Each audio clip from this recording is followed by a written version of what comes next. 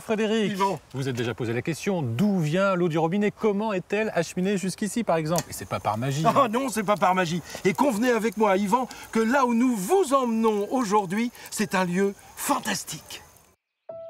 Dans le 14e arrondissement, sur l'un des plus hauts points de Paris, voici l'un des cinq principaux réservoirs de stockage d'eau de la capitale. Le réservoir Montsouris, mis en service en 1874, sert aujourd'hui à l'alimentation en eau potable de tout le centre de Paris. Construit pour accueillir les eaux acheminées par l'aqueduc de la Vanne, le réservoir de Montsouris accueille aujourd'hui l'eau souterraine conduite à Paris par les aqueducs du Loing, du Lunin et de la Voulzie. Cette eau jaillit depuis les canalisations verticales nommées tulipes avant d'être distribuée dans les différents compartiments du réservoir. Au plafond figurent les armoiries de la ville de Paris, ainsi que les noms des sources qui l'ont successivement alimentée.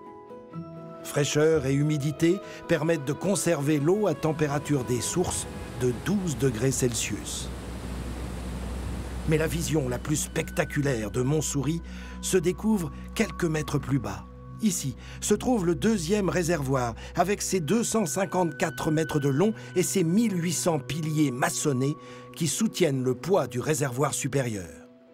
À son arrivée à Paris, cette eau a déjà parcouru plus de 100 km, protégée de la chaleur ou du froid, à l'abri de la lumière et de toute contamination. Ce lieu hautement sécurisé est aujourd'hui interdit à toute visite. Les quatre compartiments contiennent environ 200 000 mètres cubes d'eau potable.